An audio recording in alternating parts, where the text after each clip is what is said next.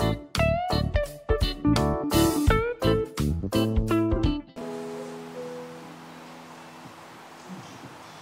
sama sore semua saudara terkasih dalam Tuhan. Hari ini kita memperingati hari Jumat Agung, hari yang berharga, hari yang uh, luar biasa. Karena hari ini Tuhan Yesus sudah rela mengorbankan dirinya menggantikan kita. Bisa kita bayangkan kalau kita ada dalam posisi Tuhan Yesus ya. Tapi hari ini seluruh dunia, seluruh umat manusia mendapatkan penebusan dari Kristus. Itu sebabnya mari kita bersyukur uh, saat sore hari ini kita bisa ada di tempat ini, kita masih memiliki kehidupan. Uh, itu semua karena kasih karunia Tuhan, semua karena cintanya Tuhan dalam hidup kita. Kami bersyukur Tuhan. Ketika Engkau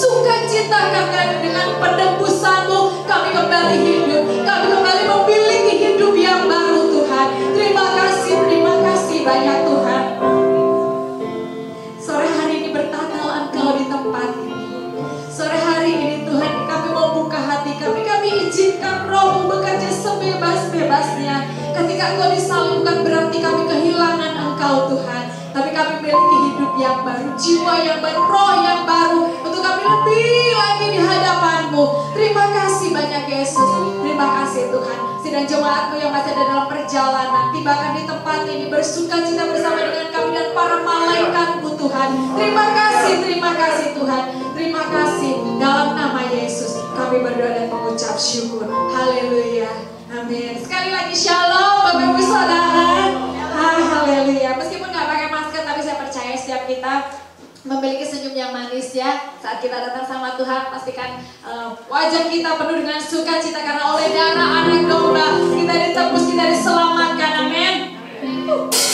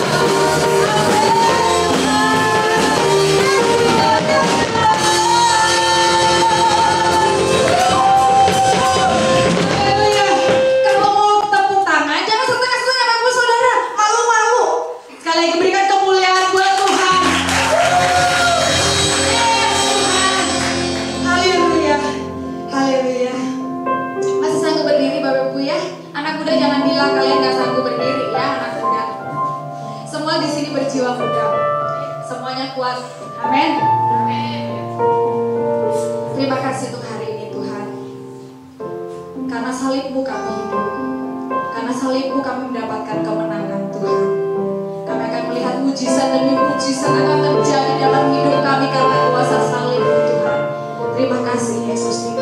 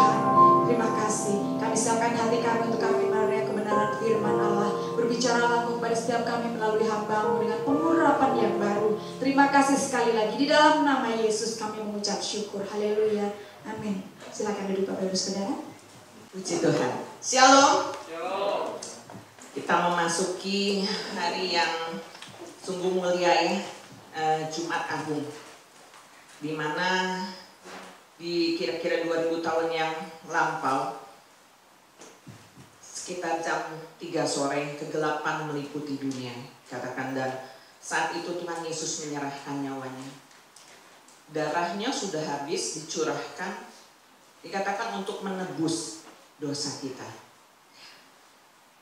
Tetapi saat ini kita sudah menerima anugerah. Kita tidak menyaksikan Tuhan Yesus mati saat ini. Tetapi darah perjanjian Tuhan Yesus itu ada sampai saat ini. Tema saat sore hari ini adalah darah perjanjian atau blood of covenant. Saudara, ketika saudara berhutang sangat besar, lalu dibebaskan hutang saudara, apa yang saudara rasakan?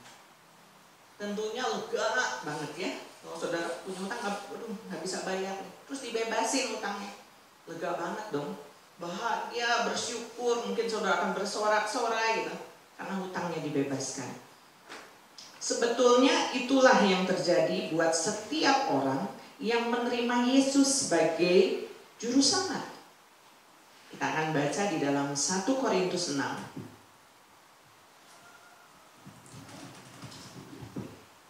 Satu Korintus 6 ayat yang ke-20.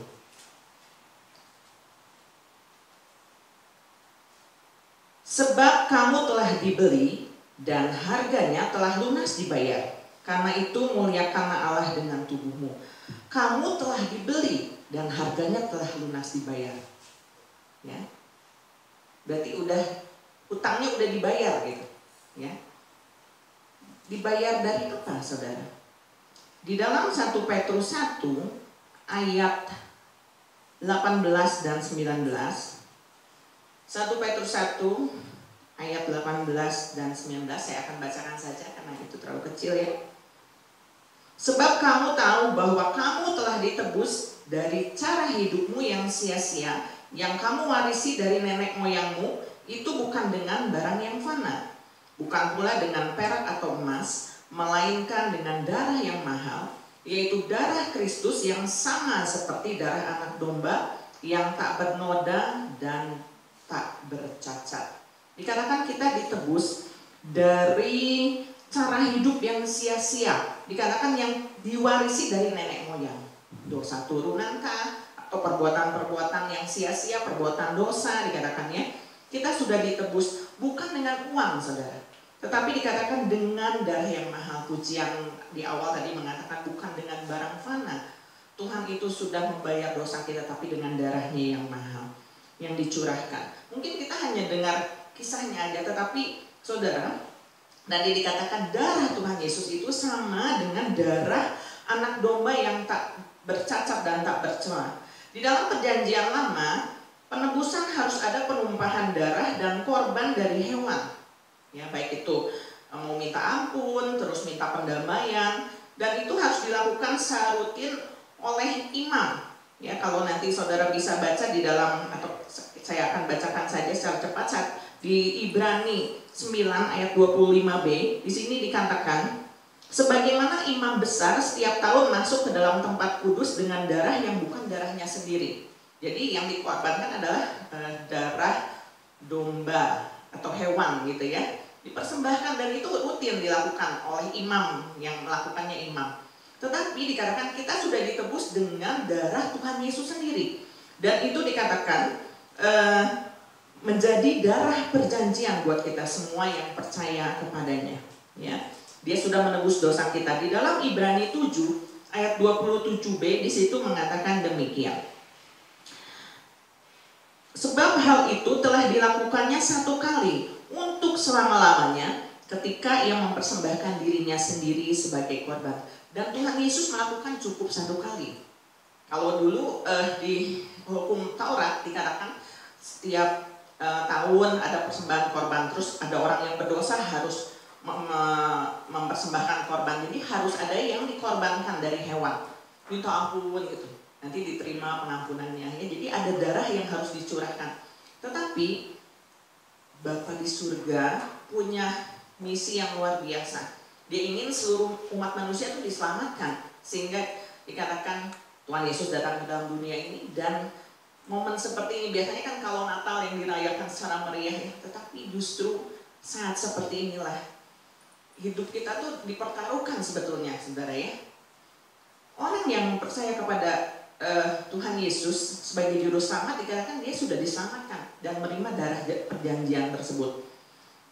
Dan Tuhan Yesus cukup satu kali melakukannya untuk selamanya dikatakan untuk menebus dosa manusia. Tetapi jangan disalahartikan saudara ya. Oh saya udah terima Tuhan Yesus Tuhan Yesus sudah mengorbankan diri untuk saya udah cukup terus kita berbuat semau maunya itu juga tidak bisa saudara. Oleh sebab itu pada saat ini pun saat sore hari kita melakukan perjamuan kudus. Yang kita juga lakukan secara rutin setiap bulan gitu ya. Bahkan ada juga yang mungkin setiap minggu perjamuan kudus. Untuk apa sih? Biasanya hamba Tuhan mengatakan oh ini untuk mengingat tentang pengorbanan Yesus gitu ya kalau perjamuan kudus ini dilakukan Nah, kita akan baca ayat uh, tema yaitu diambil dari Matius 26 ayat yang ke-28. Berbunyi demikian, sebab inilah darahku, darah perjanjian yang ditumpahkan bagi banyak orang untuk pengampunan dosa. Saudara kita tidak sekali lagi tadi dikatakan tidak menyaksikan secara langsung ketika Yesus harus memikul salib, dicambuk, dikatakan ya sampai dagingnya terkelupas. Kita hanya bisa nonton lewat film yang fenomenal adalah Passion of Christ. Tetapi itu benar-benar terjadi dan dialami oleh Tuhan Yesus sendiri. Dan dikatakan darah perjanjian ini adalah materai untuk kita semua. Bahwa setiap orang yang percaya pada Kristus menerima darah perjanjian ini. Anggur hanya sebagai lambangnya saja. Tetapi ketika kita menerima darah perjanjian kita harus mengerti maknanya saudara. Apakah makna dari darah perjanjian ini ya. Saya akan mensiarkan tiga hal saja. Apa makna dari darah perjanjian? Yang pertama adalah darah perjanjian ini menyucikan hati nurani kita dari perbuatan yang sia-sia. Kita baca di dalam Ibrani 9 ayat yang ke 14 Ibrani 9 ayat yang ke-14 betapa lebih darah Kristus yang oleh roh yang kekal telah mempersembahkan dirinya sendiri kepada Allah sebagai persembahan yang tak bercacat akan menyucikan hati nurani kita dari perbuatan-perbuatan yang sia-sia supaya kita dapat beribadah kepada Allah yang hidup. Dikatakan betapa lebihnya darah Kristus ya yang oleh roh yang kekal mempersembahkan dirinya kepada Allah sebagai persembahan Nah, saudara, dikatakan tadi bahwa darah perjanjian ini dapat menyucikan hati nurani dari perbuatan yang sia-sia. Kita hidup di dalam daging, saudara. Setiap saat mungkin saja, nah, mungkin kalau orang yang udah kenal sama Tuhan Yesus, mengerti firman, nggak sengaja harusnya e, berbuat dosa tuh nggak sengaja. Masih bisa berbuat dosa, tapi bukan disengaja harusnya. Ya, dan dikatakan itu darah perjanjian itu akan menyucikan hati nurani dari perbuatan yang sia-sia. Dan dikatakan tadi sehingga dikatakan kita dapat beribadah kepada Allah yang hidup. Apa sih arti ibadah? Ibadah itu kan persekutuan dengan Tuhan. Persekutuan, bersekutu berarti ada penyatuan, bersatu. Harus ada kesehatian di dalam ibadah, saudara. Jika hati nurani kita tidak disucikan, maka ibadah kita tidak berkenan karena tidak sehati dengan Tuhan, saudara. Saudara, di dalam 2 Timotius 2 Timotius 3 ayat 4b sampai 5 saya akan bacakan buat saudara. Dikatakan di sini, lebih menuruti hawa nafsu daripada menuruti Allah. Secara lahiriah mereka menjalankan ibadah mereka tetapi pada hakikatnya mereka memungkiri kekuatannya. Jauhilah mereka itu. Kemudian di ayat yang ketujuh dikatakan, yang walaupun selalu ingin diajar, namun tidak pernah dapat mengenal kebenaran. Bagaimana sikap kita selama ini setelah mengenal Tuhan Yesus? Saudara menyadari ketika kita melakukan perjamuan kudus ini setiap bulan, nggak hanya di Jumat Agung kan momen spesial, tapi yang tiap bulan kita lakukan perjamuan kudus. Apakah itu hanya ritual belaka, saudara? Saudara harus menyadari bahwa perjamuan kudus ini bukan hanya oh hosti ya, ada ayatnya bagus, eh anggur kita minum nggak seperti itu, saudara. Tetapi ada kuasa di dalamnya karena ini dikatakan ada darah perjanjian di dalamnya. Darah yang sudah dicurahkan untuk kita semua. Bagaimana kita menghargai darah yang sudah dicurahkan Yesus itu dalam kehidupan kita? Yaitu tadi saudara, kita harus percaya bahwa makna dari darah perjanjian itu menyucikan hati nurani kita dari setiap perbuatan yang sia-sia. Jadi setiap hari bukan hanya di momen Jumat Agung saja, bukan hanya di momen ketika sebulan sekali kita melakukan perjamuan kudus saja, oh Tuhan sucikan hatiku. Enggak seperti itu saudara. Atau hanya ketika momen setiap minggu kita di gereja, Tuhan kuduskan hatiku. Tetapi di luar perbuatan kita tidak menyenangkan hati Tuhan. Tidak menandakan kita anak-anak Tuhan. Apakah seperti itu? Darah perjanjian itu jangan sampai kita injak-injak saudara. Tetapi dikatakan darah perjanjian itu akan menyucikan hati nurani kita dari perbuatan yang sia-sia sehingga dikatakan kita dapat beribadah kepada Allah. Jadi jelas saudara, ibadah itu tidak boleh dilakukan dengan sembarangan. Tadi dikatakan mungkin aja tadi ya melakukan ibadahnya, tetapi dikatakan memungkiri kekuatannya. Apakah itu terjadi di saat itu kan e, kalau dibaca di ayat 2 Timotius 3 tadi itu adalah keadaan akhir zaman. Kita mau introspeksi diri, apakah selama ini ibadah yang kita lakukan hanyalah rutinitas atau menandakan aku orang Kristen, aku harus ibadah, apalagi di masa pandemi ini. Wah, nggak harus datang ibadah lewat online aja, seperti yang saya eh, bahkan juga beberapa waktu yang lalu. Lewat online pun udah direkam pun belum tentu disaksikan gitu ya. Jadi saudara betapa pentingnya saudara darah perjanjian ini dikatakan. Dia akan menyucikan hati nurani kita sehingga kita bisa beribadah. Jadi nggak hanya sekedar badannya aja gitu tubuh kita secara jasmani ibadah tetapi dikatakan ibadah yang sempurna itu adalah ibadah yang harus sesuai dengan kehendak Tuhan. Amin, saudara. Ya, jadi kita yang pertama tadi darah perjanjian ini kita harus ngerti maknanya. Itu menyucikan hati nurani kita dari perbuatan sia-sia. Jadi mulai dari sekarang, saudara, nggak hanya setiap perjamuan kudus saja, tetapi setiap saat, setiap hari kita mohon kepada Tuhan agar Dia menyucikan hati nurani kita sehingga kita dapat mengerti mana sih kehendak Allah, mana yang bukan. Kan kita juga harus hidup di dalam dunia ini. Nggak hanya melakukan pekerjaan e, ibadah aja gitu. Tetapi di luar pun ketika saudara bekerja itu ibadah loh saudara. Nah bagaimana supaya pekerjaan saudara itu juga menyenangkan hati Tuhan? Saudara harus minta Tuhan menyucikan hati nurani kita. Sehingga ketika kita melakukan kadang-kadang kita coba-coba ya. Karena kita mungkin nggak mendengar suara Allah Hai Yuni, kamu nggak boleh melakukan ini gitu. Mungkin nggak nggak seperti itu, tetapi dari pengalaman kita bersama dengan Allah kita akan belajar dan lama-lama hati nurani kita juga akan terus uh, dikatakan selaras dengan kehendaknya Tuhan. Ada kesehatian. Di dalam ibadah ada kesehatian. Kan nikmat saudara. Ya, kalau kita contohnya gini aja, kalau saudara lagi ada masalah, gitu ya, saudara datang ada dua orang, dua-duanya punya masalah, datang ibadah, tapi yang satu tuh datang dengan hancur hati, pokoknya ya ada masalah lah, saya siap untuk e, ibadah gitu. Tapi yang satu lagi Oke, okay, saya ibadah tetapi dia mikirin masalahnya gitu. Mana yang diterima oleh Tuhan? Yang hancur hati kan gitu. Jadi saudara harus benar-benar uh, sehati sama Tuhan ya di dalam ibadah saudara. Oke, itu yang pertama. Um, yang kedua adalah mengingatkan kita bahwa dosa kita kan sudah diampuni. Tadi kan uh, waktu kita perjamuan kudus, hamba Tuhan suka ngingetin gini. Ini adalah untuk mengingat tentang pengorbanan Tuhan Yesus. Kita sudah diampuni oleh uh, oleh Tuhan Yesus dosa kita. Tetapi makna yang lebih dalam apa? Kita akan baca dulu di dalam Ibrani 9 ayat 22. Ibrani 9 ayat 22 di sini dikatakan dan hampir segala sesuatu disucikan menurut hukum Taurat dengan darah dan tanpa penumpahan darah tidak ada pengampunan.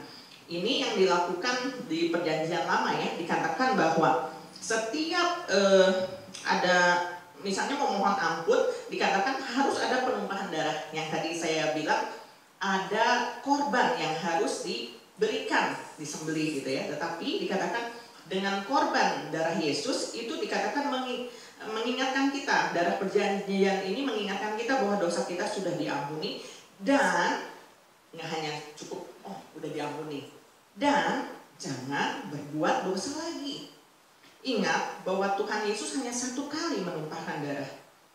Jadi bukan berarti oh kita be bebas berbuat dosa ya. Oh nanti Tuhan Yesus mati lagi enggak, saudara. Tuhan Yesus tuh itu kan satu kali uh, mati menumpahkan darah. Dia bilang nih kalau yang percaya sama aku kalian uh, menerima keselamatan. Tetapi enggak hanya itu, saudara. Jangan berbuat dosa lagi. Ingat kisah tentang perempuan yang berdosa dikatakan ya yang lain menghakimi perempuan itu supaya dirajam dengan batu. Tetapi Tuhan Yesus mengampuni wanita itu. Lalu apa yang dikatakan Tuhan Yesus? Pergilah, aku dulu tidak menghukum engkau. Dan jangan berbuat dosa lagi. Ya, Ada pertobatan. Kita akan baca terlebih dahulu di dalam Ibrani 10 ayat 26 sampai 29. Ibrani 10 ayat 26 sampai 29. Sebab jika kita sengaja berbuat dosa, Sesudah memperoleh pengetahuan tentang kebenaran, maka tidak ada lagi korban untuk menghapus dosa itu. Perhatikan saudara, kalau kita sengaja berbuat dosa tidak ada pengampunan. Tetapi yang ada ialah kematian yang mengerikan, akan penghakiman dan api yang dahsyat yang akan menghanguskan menghanguskan semua orang durhaka.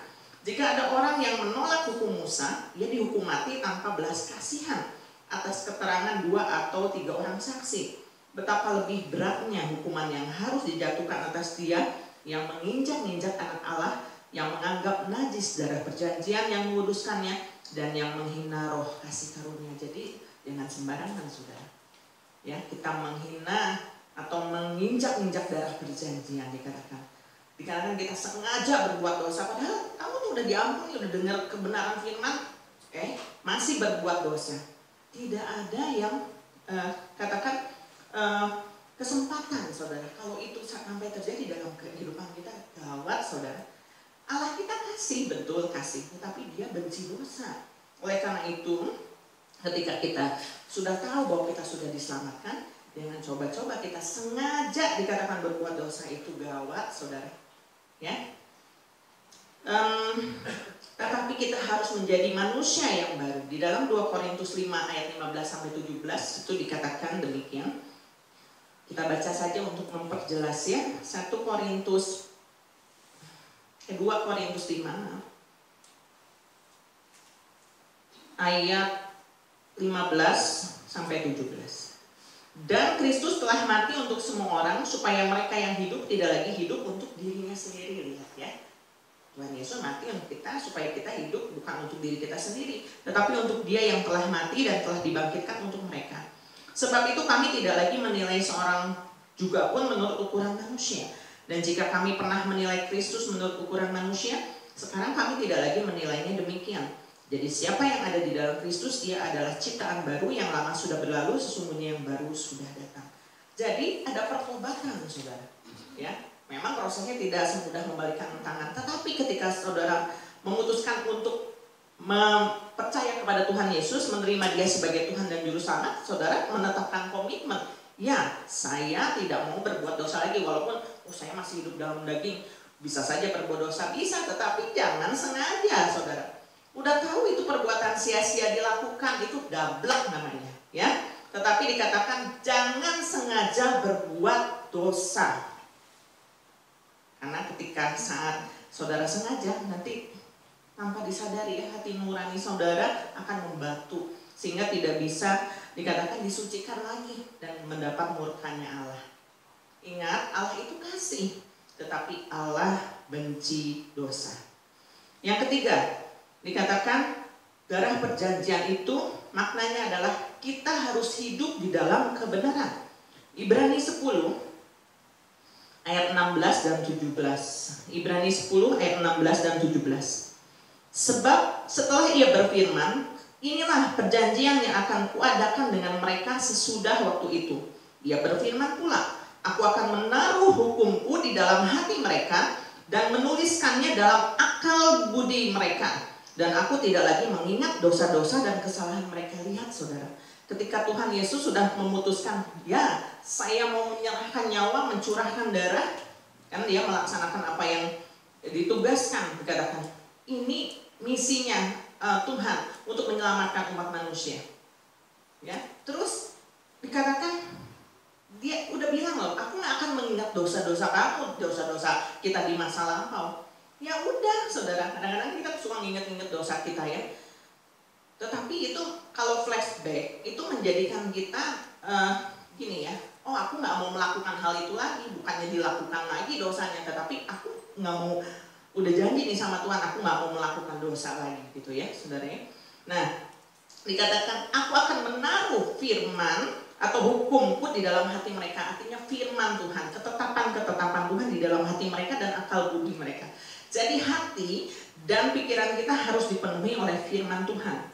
Ya. Jadi setelah menerima Kristus, jangan berbuat sekehendak hati kita, tapi dikatakan hidup kita ini menjadi milik Kristus, bukan kita lagi. Walau Tuhan memberikan kemerdekaan, tetapi bukan berarti kita bebas berbuat dosa. Justru ketika kita ditetapkan menerima darah perjanjian ini, hidup kita dikatakan Ingat, hidup kita tidak sama lagi dengan dunia, melainkan akan dengan suka hati dikendalikan oleh Tuhan dan firman-Nya, saudara. Suka dikendalikan sama firman-Nya. Pada dasarnya manusia itu punya kekerasan hati. Contohnya anak kecil aja, kadang-kadang kalau dibilangnya nggak langsung nurut, saudara. Yang udah bisa ngomong ya, kalau anak bayi sih mungkin di yang balita gitu ayo di, disuruh apa sama mamanya masih nurut gitu. Tetapi kalau anak-anak coba yang remaja, pasti pasti bantah dulu gitu, pasti nembalin dulu gitu ya.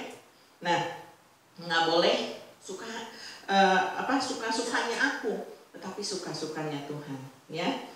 Mau dikendalikan oleh Tuhan dengan suka hati dikatakan jadi bukan dengan terpaksa uh, omongan sama hati beda enggak, tetapi Tuhan ini ini milikmu Tuhan. Jadi apa yang menjadi kehendak Tuhan saya akan lakukan. Itu loh saudara. Jadi hidup kita harus dipenuhi dengan kebenaran firman Tuhan. Hati dan akal budi kita. Jadi begitu keluarnya misalnya kita kan manusia kadang-kadang keluarnya yang jelek pikirin yang jelek hal-hal yang di dalam dunia ini uh, kan iblis juga dikatakan dia itu um, membinasakan hal-hal yang buruk gitu mengenai kehidupan kita tetapi Firman Tuhan itu akan menyucikan kita dan membuat kita berubah, tidak lagi sama dengan dunia ini. Ucapan kita, pikiran kita, ada yang jelek pertama, oh jelek nih, tapi ditepisin. Karena dikatakan firman Tuhan itu ada dalam hati kita lama-lama, akhirnya kita bisa serupa dengan Kristus, bukan berarti wajahnya serupa dengan Kristus, tetapi sifat kita akan serupa dengan Kristus. Perkataan kita yang dulunya kasar bisa diubahkan. Bisa, saudara.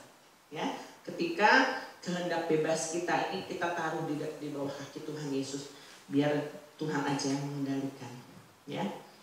Di dalam Matius 6 ayat 24 Matius 6 ayat 24 tak seorang pun dapat mengabdi kepada dua tuan karena jika demikian ia akan membenci yang seorang dan mengasihi yang lain. Atau ia akan setia kepada yang seorang dan tidak mengindahkan yang lain kamu tidak dapat mengabdi kepada Allah dan kepada Mammon. Dalam arti kalau ini kan tentang uang gitu saudara. Tetapi saudara tidak bisa mengabdi kepada oh saya ikut Tuhan, saya ikut dunia juga. Atau saudara kakinya satu di perahu satu, satu di perahu satu nggak bisa saudara. Saudara harus memilih. Ya, kalau saudara memilih mau mencintai Tuhan Yesus, cintai Tuhan dengan segenap hati, nggak bisa separuh-separuh. Cinta dunia, cinta Tuhan, bingung. Itu namanya print plan, saudara. Tetapi kalau mau mengikut Tuhan Yesus, saya mau cinta Yesus, apa pun yang terjadi saya komitmen untuk ikut Tuhan Yesus. Walaupun saya masih dalam kesusahan, walaupun saya ini mungkin dikatakan orang sifatnya buruk atau apa, tidak peduli, saya mau ikut Tuhan Yesus, dia akan mengubahkan aku. Itu orang yang udah punya komitmen untuk mengikut Tuhan Yesus, gitu ya. Sehingga akhirnya dikatakan darah perjanjian ini dicurahkan tidak dengan sia-sia, saudara. Tidak diinjak-injak tetapi orang yang melecehkan Tuhan, setelah dia menerima keselamatan dari Tuhan, dia sengaja berbuat dosa, masuk gereja minta ampun gitu terus berbuat dosa lagi itu tidak layak saudara. Jadi saudara harus bertobat saudara. Saya saudara harus mengambil keputusan benar-benar dalam kehidupan saudara karena hidup kita nggak akan lama lagi saudara. Di dalam dunia ini cuma sementara kesusahan banyak terjadi. Pandemi akhirnya kita bisa lewati nggak terasa ya satu tahun itu tetapi Tuhan pelihara. Luar biasa nggak itu saudara? Puji Tuhan di GBS ini terluput loh saudara. Kita masih bisa ibadah. Saya tuh sama suami sampai ngucap syukur Tuhan itu deg-degan loh saudara. Kan banyak umat opa di sini. Kita bawa dalam doa puji Tuhan semuanya diluputkan. Nggak ada yang kena covid kan? Gitu ya atau ada yang panu-panu aduh jangan-jangan kena covid tapi kita tuh punya darah Tuhan Yesus yang luar biasa saudara. Sehingga meluputkan kita dari sakit penyakit ya. Kalau kematian secara jasmani eh, tidak bisa kita pungkiri. Satu saat kita akan mengalami. Tetapi saudara harus percaya kehidupan kita nih yang tinggal nggak tahu berapa lama lagi.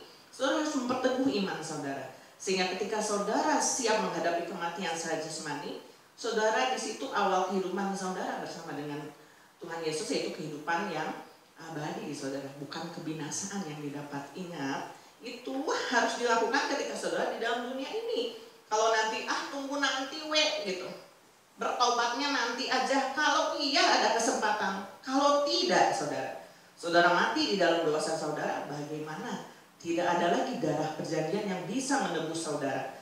Cukup satu kali aja Tuhan Yesus menebus dosa saudara. Dan saudara harus mengerjakan keselamatan. Ikatan darah perjanjian ini akan menyucikan kita hati nurani kita. Dan mengingatkan kita bahwa dosa kita udah diampuni terus diingat nih aduh nggak boleh buat dosa lagi gitu. Jangan buat dosa lagi. Begitu dosa mengintip ayolah nggak apa-apa sekali enggak aku nggak mau berbuat dosa lagi. Itu saudara yang harus saudara ambil. Uh, komitmen ya saudara. Dan aku bertekad untuk hidup di dalam kebenaran itu yang harus kita perkatakan ya puji Tuhan firman Tuhan tidak saya bacakan karena kita akan memasuki perjamuan yang kudus uh, saat sore ini Siapkan hati kita supaya benar-benar hati kita dilayakkan untuk menerima perjamuan kudus ini. Bukan hanya ritual saudara yang kita lakukan tiap bulan atau di Jumat Agung ini. Tetapi ingat bahwa ketika kita nanti meminum anggur dan memakan roti, ini adalah lambang tubuh dan darah Tuhan Yesus yang sudah mati buat kita semua menebus dosa kita loh. Yang harusnya kita binasa, dikatakan dihukum selama di neraka tetapi dia sudah menebus kita dengan darahnya. Biarlah kita akan satu hati dalam doa. Tuhan Yesus terima kasih. Karena pada saat sore hari ini kami boleh merasakan kasih Tuhan yang begitu besar dalam kehidupan kami. Dan biar firman-Mu yang mungkin hanya disampaikan dalam waktu yang terbatas. Tetapi Tuhan di momen Jumat Agung ini Tuhan Yesus kembali kami boleh mengambil komitmen yang baru. Untuk kami lebih setia lagi mengiring Tuhan Yesus dan mengerti akan makna darah perjanjian yang Tuhan sudah berikan buat kami semua. Darah perjanjian darah yang mahal yang sudah dicurahkan buat kami semua. Biar itu akan terus menyucikan hati nurani kami sehingga hati nurani kami boleh Tuhan Yesus menjadi hati nurani yang baik hati nurani yang benar-benar berkenan di hadapan Tuhan dan juga Tuhan Yesus mengambil komitmen untuk kami tidak berbuat dosa lagi, mengambil komitmen untuk kami tidak melupakan hati Tuhan Yesus, tetapi kami mau melakukan kehendak Bapa di surga dan juga Tuhan Yesus untuk kami terus hidup di dalam kebenaran. Kami tidak mau menyerah Tuhan, tapi kami mau melakukan uh, kebenaran firman Tuhan, bukan kebenaran diri sendiri, tapi kebenaran firman Tuhan. Sucikan kami, siapkan kami untuk menerima perjamuanmu yang kudus. Di dalam nama Tuhan Yesus kami bersyukur. Haleluya. Syarat sudah menerima perjamuan kudus pertama bertobat perhatikan baik-baik. Siapa pun bisa menerima perjamuan kudus ini. Yang pertama bertobat. Yang kedua percaya pada Tuhan Yesus. Setelah itu sudah bisa ikutan perjamuan kudus. Kita akan berdoa bersama-sama. Kami siap melakukan perjamuan kudus ya Tuhan yang merupakan perintah Tuhan agar kami bersekutu dengan tubuh dan darah Kiranya Tuhan memberkati roti dan anggur ini. Dan kami percaya persekutuan dengan tubuh dan darahmu. Segala dosa sudah diampuni. Sakit penyakit disembuhkan.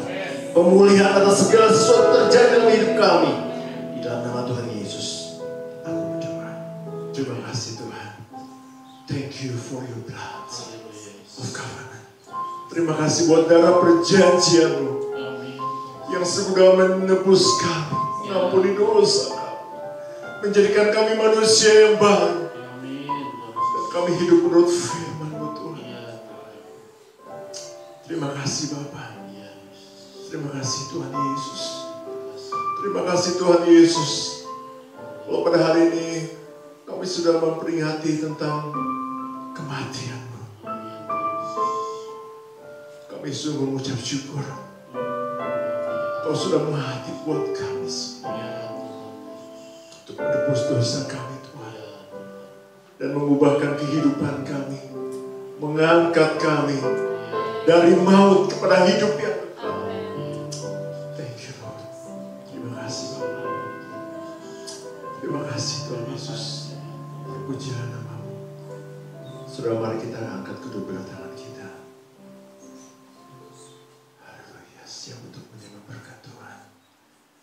Diberkatilah keluargamu.